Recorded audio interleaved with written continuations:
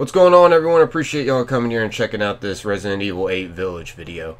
In this one, I'm going to be showing y'all what happens when we complete every single one of these labyrinth puzzles that we can find around in the game. Now there's four of these in total and when I came across the first one in Castle Dimitrescu where Duke is at, I was immediately intrigued. I was first off wondering what the heck is this thing. So I decided to examine this book that was right next to this labyrinth and it turns out this explains what this is. As you can see here it states Norstein's Labyrinths. I'm sorry, by the way, if I do mispronounce anything. I'm not used to saying a lot of these things that I am saying within this game, to be real with y'all. But, yeah, as you can see, it states, A craftsman of the late 19th century, Norstein was branded a heretic in his homeland. He wandered the lands until he settled in a remote village. Norstein then created four labyrinths, the castle, the house on a hill, the water wheel, and the Iron Tower. Upon their completion, he put a gun to his temple and took his own life. Geez, what a twist there.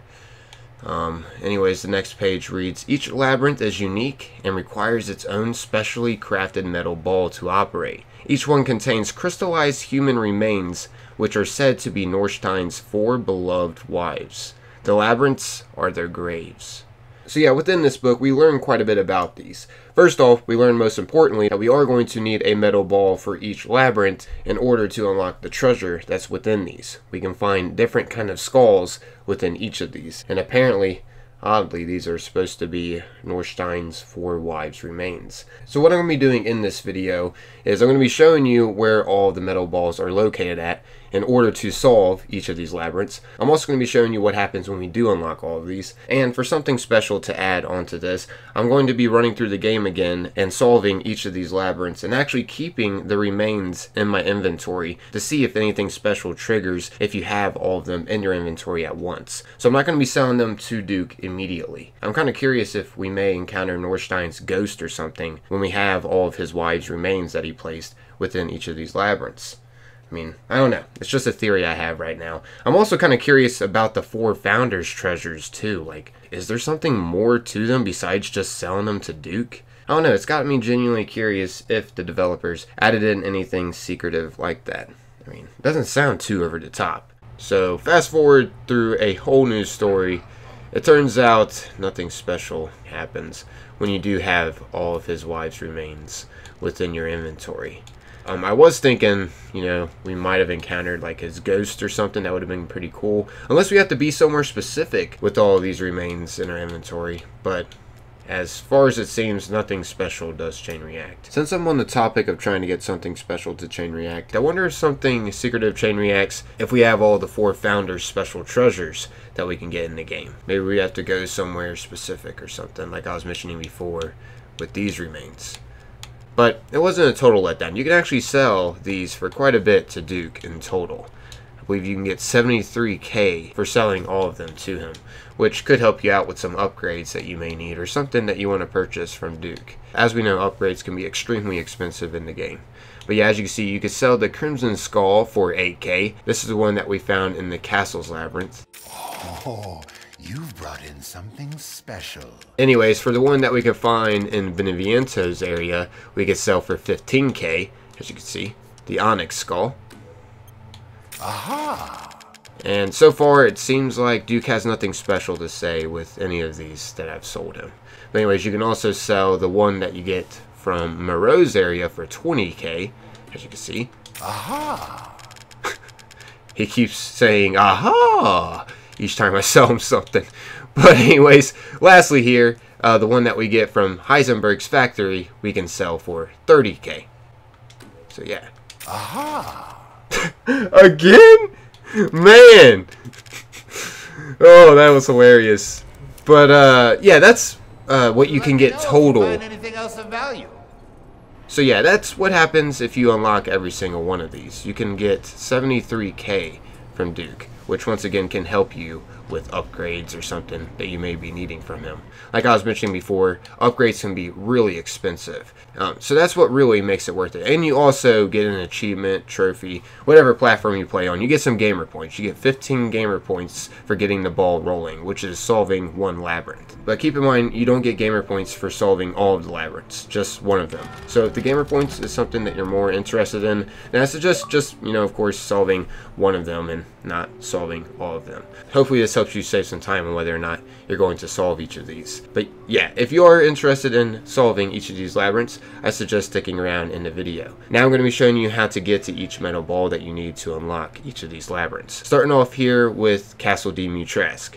Alright, so once you got Dimitrescu's key and you came up the elevator at the courtyard, you then just want to head over through this door by using her key. And by the way, don't worry about missing the part where you come up the elevator in the courtyard because it's part of the main story. You'll eventually come across that part. And when you do, this is where you can go and get the metal ball because you are going to need her key to get in here. But yeah, once we're in here, we just want to head up the stairs. And at the top here, just head left through this door. Now within here, this is where we can find the labyrinth ball at which is located right over here in the corner in this room at the top. As you can see, you can find a flower swords ball in this opened little chest. So yeah, go ahead and pick that up. And nice. So now let's go ahead and take this back to the labyrinth puzzle, which that's located where Duke's at in this place. Alright, so I'm back here at Duke. Now let's go ahead and insert the flower swords ball on this labyrinth. And by doing that, we have to solve this little puzzle by tilting the castle. Oh! So it's pretty cool. You know, each area has its own theme. But yeah, this is the taste of uh, Castle Dimitrescu.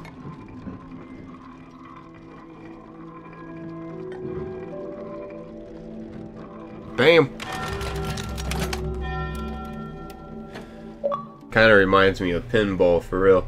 But yeah, as you can see, you get an achievement for solving the first one once again. And we get the and we get the Crimson Skull from this one, which this is worth 8k. Not a bad amount for the castle, since that is still early in the game. Also, something pretty neat about this one is the castle lights up too, when you officially solve it. Thought that was a pretty neat little addition that the developers added in with this. The lights will, however, eventually go out.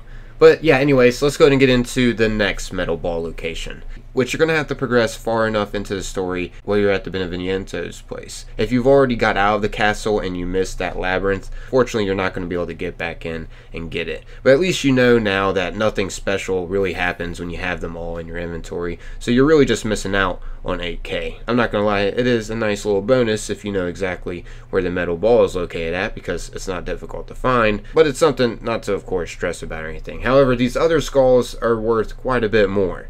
Um, this next one is going to be worth 15k, so we're about double the amounts of the previous one. This one can be once again found at the Beneviento's place. I'm going to be starting here after completing the whole dollhouse area and getting past that creepy baby monster and whatnot. Yeah, I'm going to be starting from this point for reference.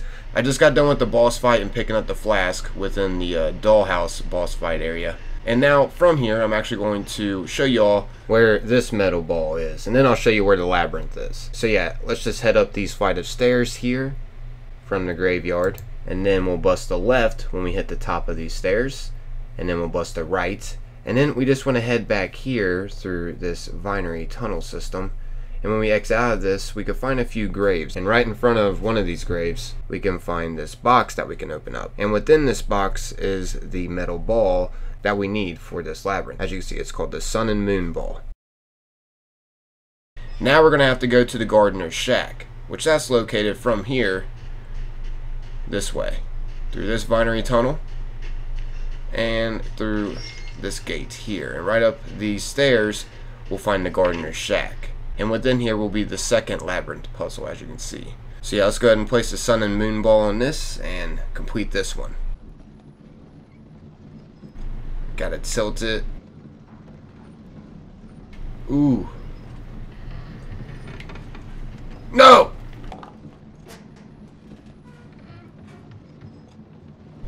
Man, this ain't no joke. This is actually pretty difficult.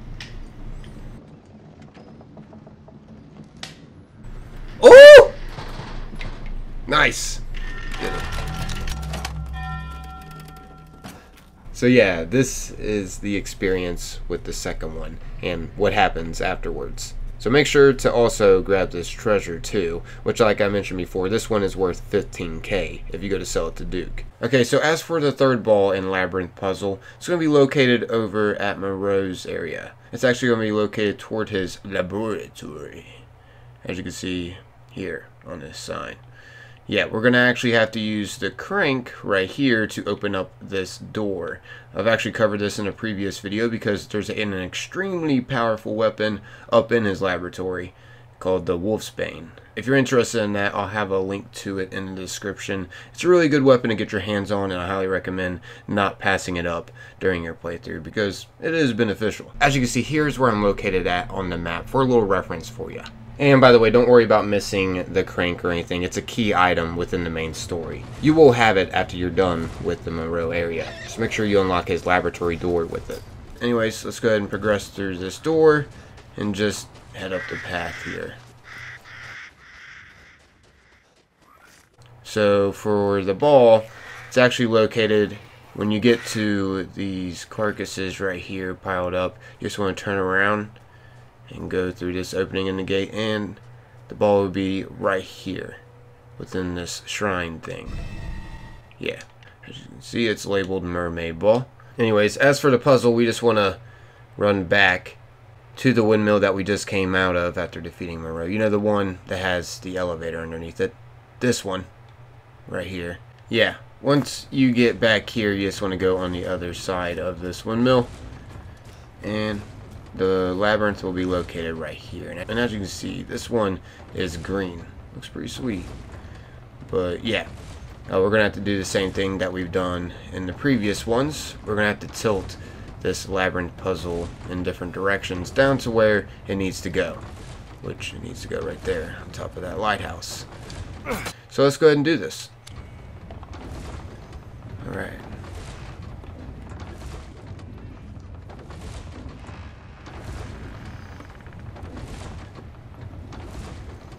So far, so good. Oh, this is pretty cool. Oh, what? I have to say, this is really unique. I like how they added, you know, just little things like this where you have to actually tilt the puzzle and whatnot to get the ball rolling. It kind of reminds me of Zelda a little bit. Breath of the Wild, now that I think about it. Not just a pinball machine.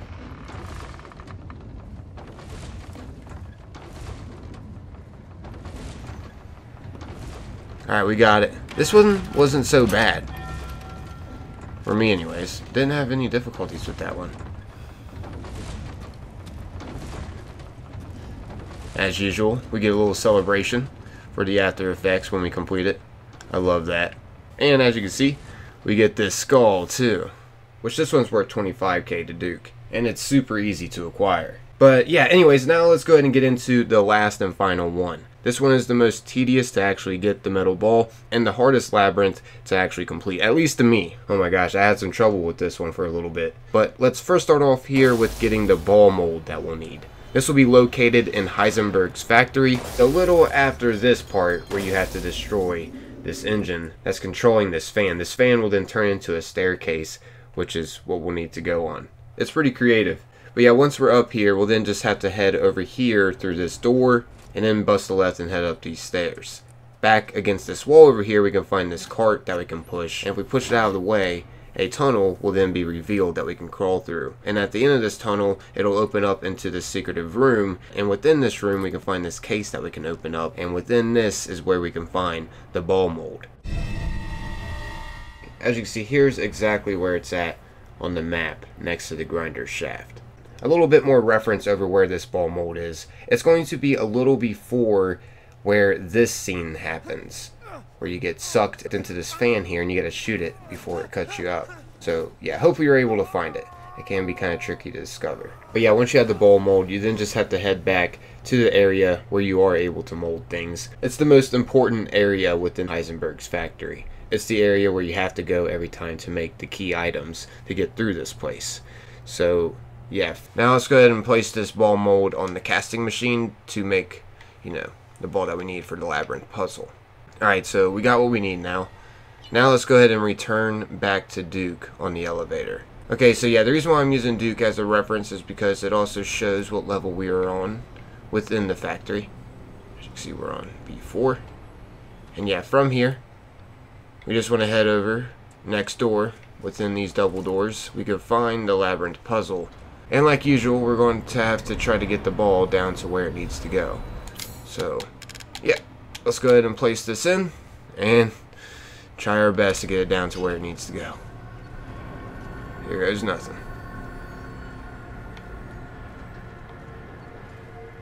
Oh, shoot. Alright. Gotta pass the first part. Let's go on down. Uh-oh. Ooh.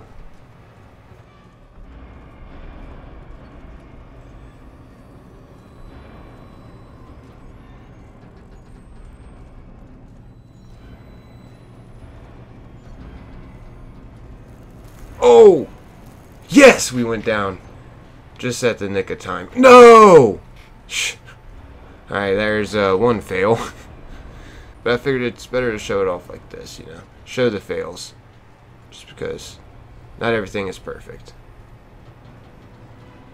Oh my gosh. Third time's a charm, right? Who the heck made this puzzle? They did a good job. it's really difficult and puzzling. Okay, there we go. I think I'm on the right track. Yep.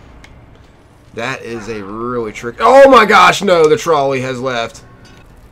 Catch a ride. No, wait, what did I get stuck on? Come on.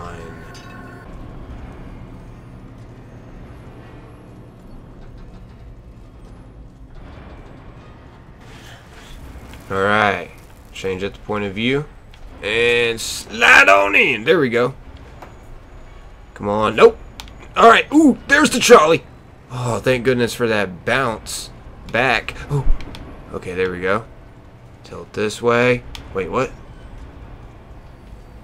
Why are we going back that way? What do I have to do? Oh.